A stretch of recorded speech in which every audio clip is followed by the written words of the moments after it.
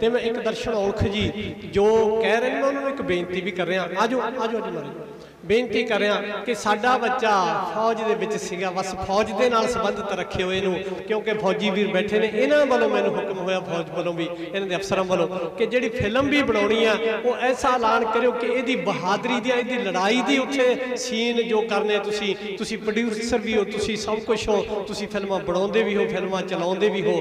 ਬਸ ਇਹ ਫੌਜ ਦੇ ਨਾਲ ਰਿਲੇਟਡ ਫੌਜ ਦੀ ਬਹਾਦਰੀ ਦੀ ਗੱਲ ਉੱਥੇ ਹੋਵੇ, ਬਸ ਇਹੋ ਜਿਹਾ ਇੱਕ ਸੀਨ ਬਣਾ ਦਿਓ। ਬਾਕੀ ਅਸੀਂ ਸਾਰੇ ਧਾਰਮਿਕ ਲੋਕ ਹਾਂ, ਸਾਨੂੰ ਧਾਰਮਿਕ ਹੀ ਰਹਿਣ ਦਿੱਤਾ ਜਾਵੇ। ਸਾਰਿਆਂ ਦਾ ਬਹੁਤ ਬਹੁਤ ਧੰਨਵਾਦ ਜੀ। ਵਾਹਿਗੁਰੂ ਜੀ ਕਾ ਖਾਲਸਾ, ਵਾਹਿਗੁਰੂ ਜੀ ਕੀ ਫਤਿਹ।